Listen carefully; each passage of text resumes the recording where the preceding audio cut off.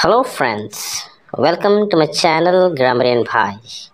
And today let's solve specimen paper 13th of class 11 from Total English book. So as usual I'm going to discuss directly from the question number 3. So you go through by the question number 1 and 2. Let me directly begin from the question number 3. So in question number 3 the first sentence is complete. We have to complete the second sentence. So let's begin. First one, if you do not improve your attitude towards work, you will not progress. So the second sentence would be, unless you improve your attitude towards work, comma, you will not progress. B, do not talk so loudly, Minu. You will wake up everyone in the house, he said. So the second sentence would be, he told Minu not to talk so loudly, otherwise she would wake up everyone in the house. Number C. Vaibhav wanted to report on the war in spite of the danger. So the second sentence would be, although it was dangerous, comma, Vaibhav wanted to report on the war. D. I might fail the test, in which case I will probably reappear next year. So the second sentence would be, if I fail the test, comma, I will probably reappear next year. Number E, how did the fluctuation in the stock market affect him? So the answer will be, what effect did the fluctuation in the stock market have on him? And at the end, question mark. Second, fill the blank with a suitable word. So the first one, I called on the director yesterday. B. The old grandmother could not call up past events. C. Meena carried on talking until father came. D. Courage will carry a man through difficulties. E. Finally, the truth has come out. F. The expenses of marriage came to a large sum. G. The soldiers were ordered by the captain to fall in. H. The number of admissions has fallen off this year. Dirt often brings on disease. He has to bring up three children. Next, number three here, fill in the blanks in the passage given below with the appropriate form of the verb given in brackets. So you read the passage. Let me provide you the answers.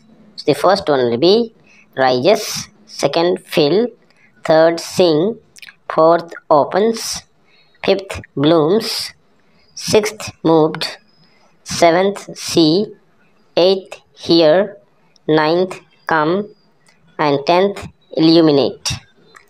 Next question number four. Here you have to read the entire passage and then you have to answer some of the questions. So you read the passage. Let me provide you the solutions. So the first one. So here you have to find the similar word meaning from the passage. So the first one, dirty, which means dingy. Second, fixed means fastened. Third, reverberated, which means echoed. Number B, here you have to select the correct sentence of the given options. First one, room. So here option D could be taken.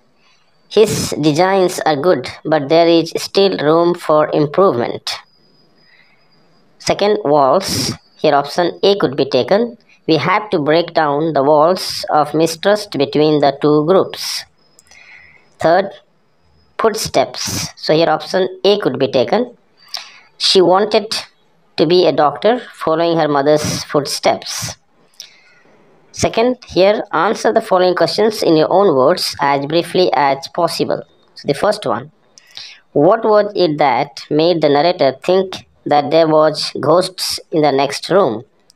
So the answer could be the sound of the whir of a billiard ball at night as if someone was playing the game of billiards in the adjacent room where the narrator was staying made him think that there must be ghosts as the room was not occupied by anyone.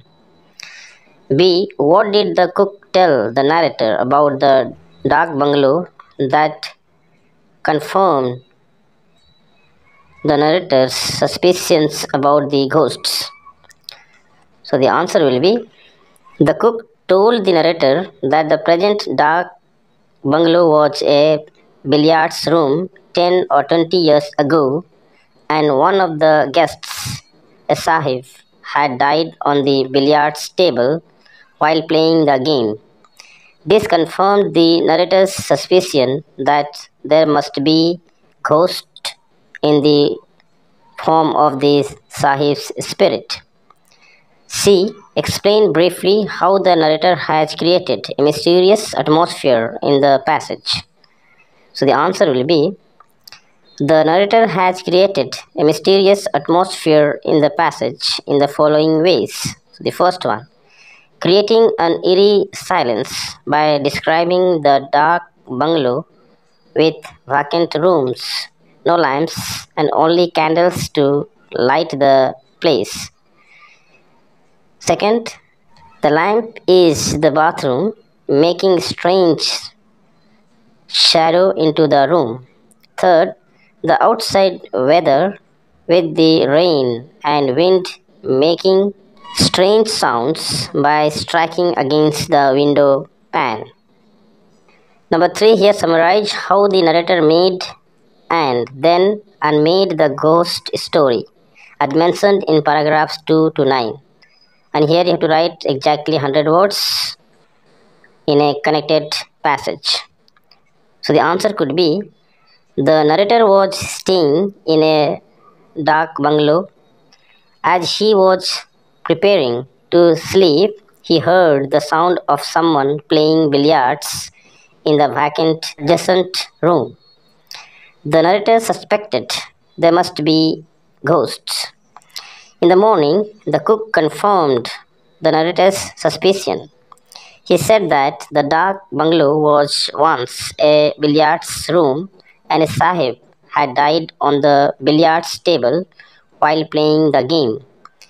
The narrator unmade the ghost when he realized the sound of the billiards ball resulted from a rat running inside the ceiling cloth and the wind shaking the loose window bolt.